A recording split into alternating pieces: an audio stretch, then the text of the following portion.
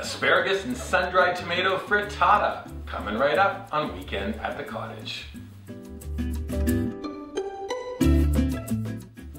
Part of our Canada 150 celebration is to share great recipes, ideas, and tips with you from across the country. I called my dear friend Emily Richards. You may remember her from her sauteed warm olives on her City Slicker video. She also did the beautiful carrots and zucchini recipe. I called her, I said, Emily, what do you want to do? She said, well, Nick, it's got to be something with a bit of Italian flavor. Emily Richards is the author of Per la Famiglia, a fantastic book about her Italian heritage. And because we live in a country that supports multiculturalism and cultural heritage, I thought it's nice to have Emily share one of her recipes that gives a bit of a nod to her Italian roots. We're making this frittata, which in essence is an open-faced omelet. And we start by chopping a few ingredients. I'm chopping some fresh asparagus, about a cup and a half, half a cup of fresh leek. Now, if you want to substitute the leek for garlic scape when in season, Emily says this recipe is remarkable if made with garlic scape. I'm chopping some sun-dried tomato, some basil, here's to basilico, and then I shouldn't be surprised that my beloved Italian friend is making a breakfast item using pasta. We've cooked off some very small shell pasta that'll be added into this frittata. Before heading to stovetop to cook the frittata, I'm whisking together six eggs with the fresh basil. Now at stovetop, I have the skillet on medium high.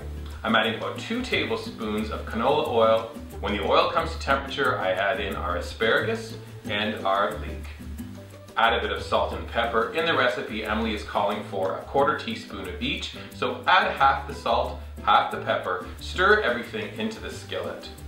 Emily's direction in this recipe is she wants these vegetables to remain tender, crisp, so don't overcook them. Once they're still kind of crunchy, we're adding in our sun-dried tomatoes plus the pasta. Stir everything together and allow it to cook for about two minutes. Everything in the skillet is sizzling. I'm adding the eggs and the basil. Stir it a little bit and now leave your skillet to rest on the stove top. What we need to have happen is the underside needs to brown a bit and you can lift up the edge uh, with your spatula just to see once it's nice and golden, we're on to the final steps. Now our oven rack is in the top position. Turn your setting to broil. We're gonna place the skillet in, and because it's under the broiler, this is going to cook the top of the frittata. Your eggs will set and cook in about three minutes. Take the skillet out of the oven, and then a sprinkling of uh, about a third of a cup of cheddar cheese. We're using an old, sharp Canadian, kind of like me the sharp part. Anyway, we're adding a bit of cheese to the top. It goes back in the oven and it melts. And it comes out, it should look like this. It should be nice and bubbly. All of the cheese is melted. Now we're ready to enjoy. You can serve it with a side salad or Emily suggests tucking it into a beautiful piece of bread. Um, I think that I'm just going to take a little portion now. Portions out really nice.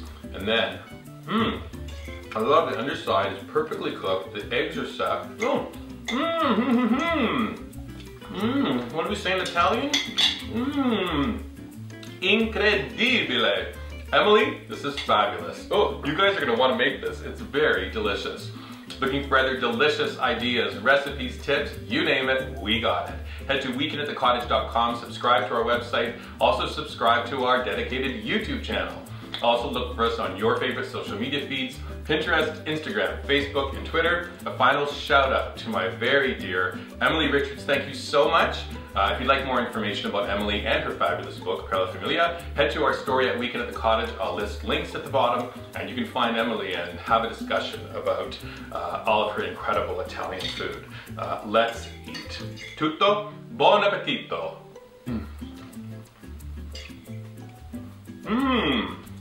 Wow. This is good.